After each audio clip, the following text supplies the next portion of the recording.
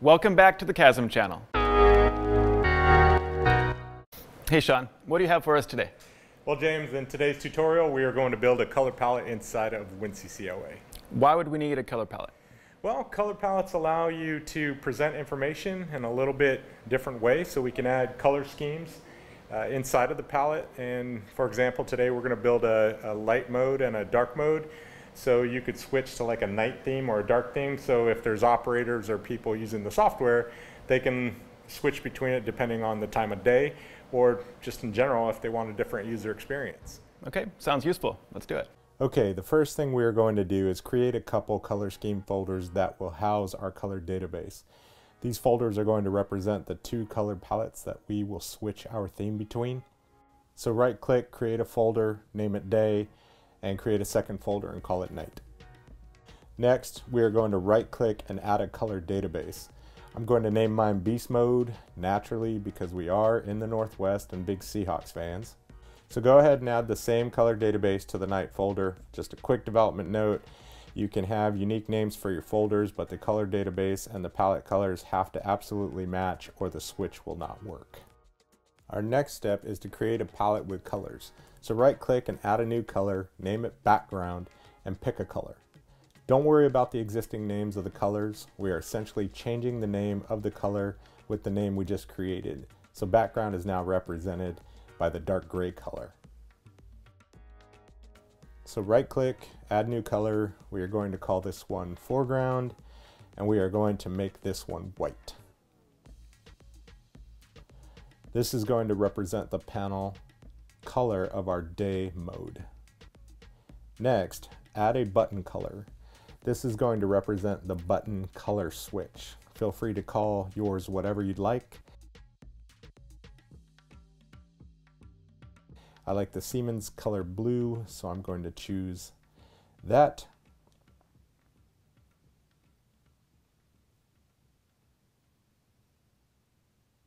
Let me squeeze this over a little bit so you can see my naming conventions a little bit better. Right click, add another color.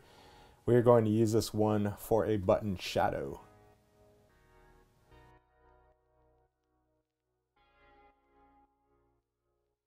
We're going to make that this one red. And then we are going to repeat the whole process here with the night color palette. I'm going to speed this section up slightly to get to the end result faster. Just remember, make sure your color names match and make sure you have different colors to represent each individual palette.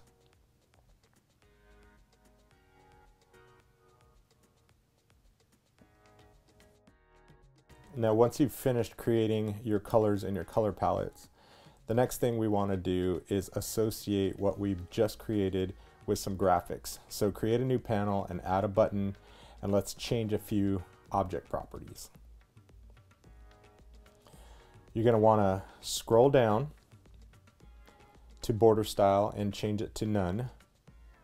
What that does is turns off the default button styling so we can freely configure it. Next, we want to change the shadow enabled to true and change your XY offset from 8 to 2 so we don't have some crazy separation between the buttons and the shadow. Next, let's change the shadow color to one from the palette we just created. Type in the name you just gave your button shadow color and select it. Next, let's change the color of the button. Type in the button color and select it. Finally, I've added sun and moon icons to the picture folder in the project directory so I could use them instead of text. I'm going to use the sun icon to represent the day color scheme and the moon icon to represent the night color scheme. And next I'm going to copy and paste the button I've just created because it already has all of the configurations I need.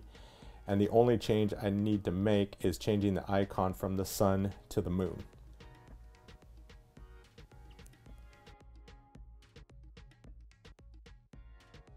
Next, we are going to add a text field that will output which color scheme we are using.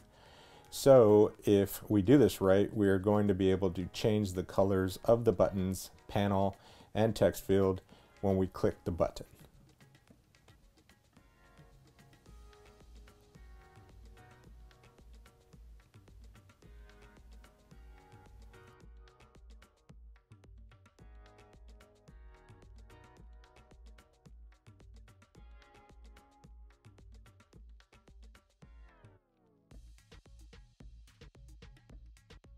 And finally, we are going to create a script. So go ahead and open up the Click script editor. Type string scheme equals day and hit return. Then we are going to activate our day scheme with color set active scheme day.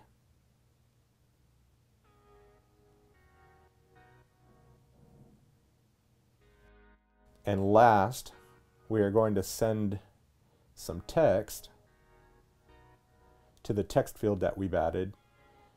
And the name of that object is text underscore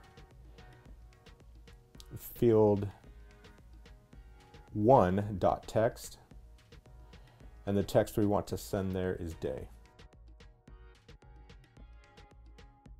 Let's do a quick syntax check, then copy our script so we can paste it into our night button click.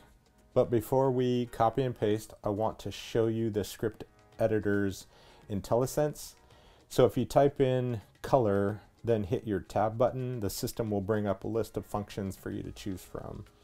So I'm just going to copy and paste our script and make the changes from day to night and our text field output, change it to beast mode.